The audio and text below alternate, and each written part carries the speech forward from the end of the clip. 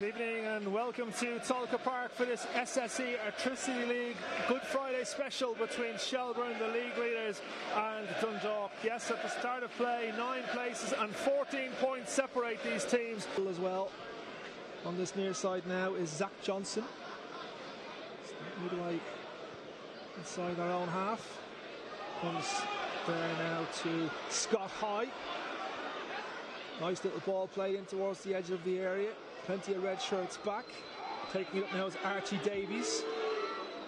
Steps inside the attempted challenge there of uh, Will Jarvis well. Still going. So, a shot coming in there from Archie Davies.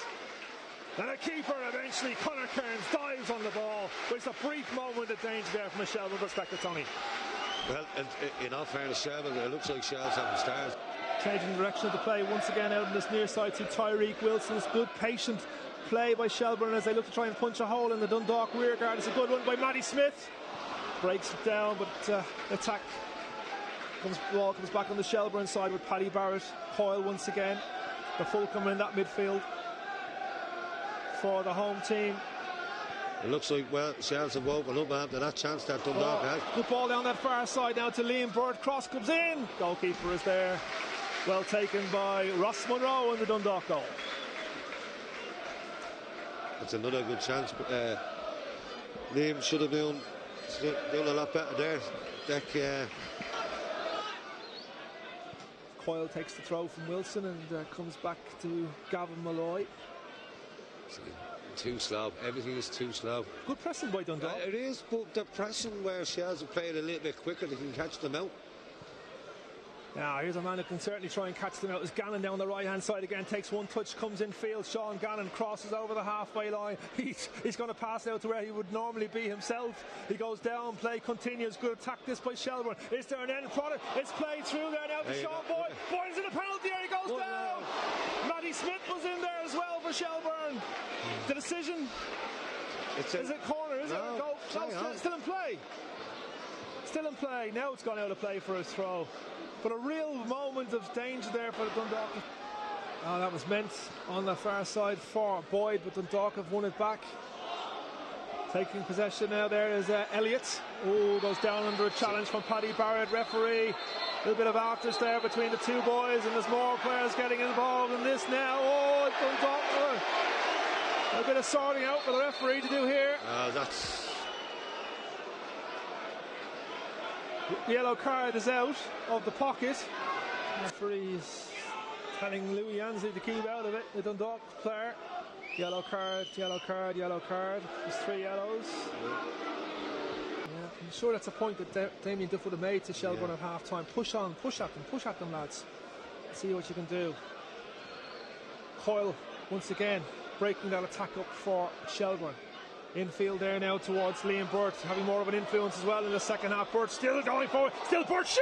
Oh, it's a majestic strike from Liam Burt to break the deadlock.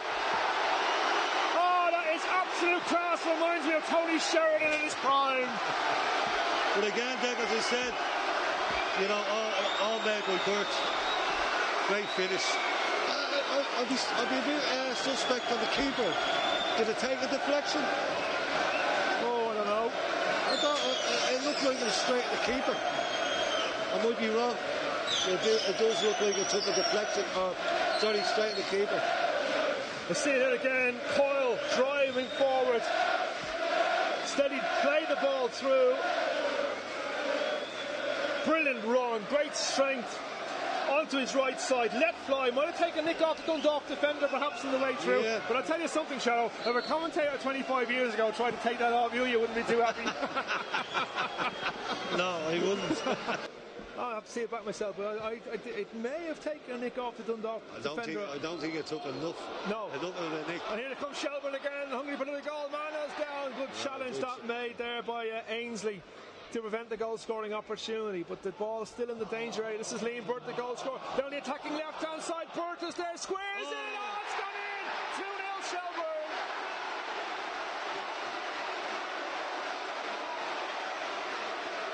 Seventy-fourth minute.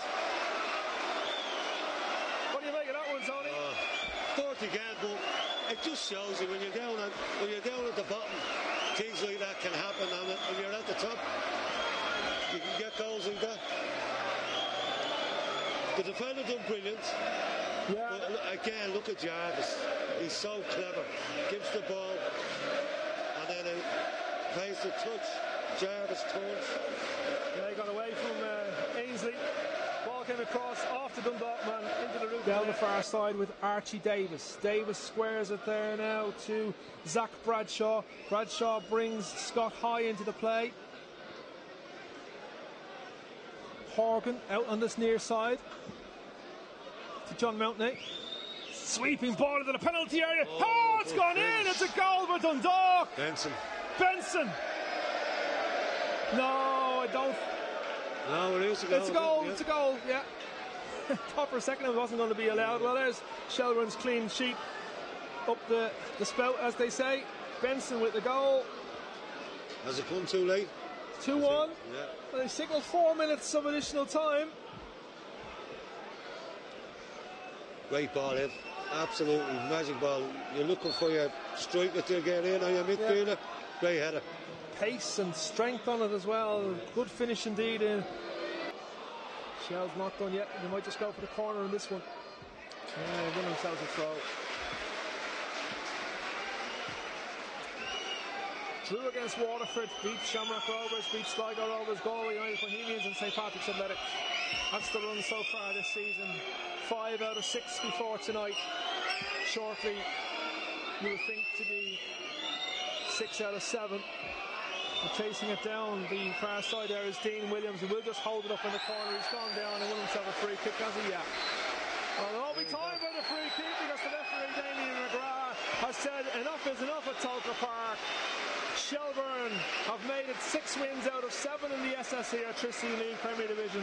Liam Burt with a stunning strike in the second half and an own goal from Dundalk to maintain that record. So Dundalk still look for their first win of the season and still look for another goal this season. Tony, what was your assessment? A better second half than first overall. I think Shelbourne's game is pressure. You know, putting pressure on teams, getting them to make mistakes. First half, I thought they set off. Didn't really put pressure on them. But in the second half, they came out flying and obviously got the, the two goals. Could have probably got one or, one or two more in the first half with Sean Boyd. But a great result for Shelbourne. Um, Dundalk, they're a good team, but I just be a little bit worried. Are you going to get goals? That's that's the problem with me with Dundalk.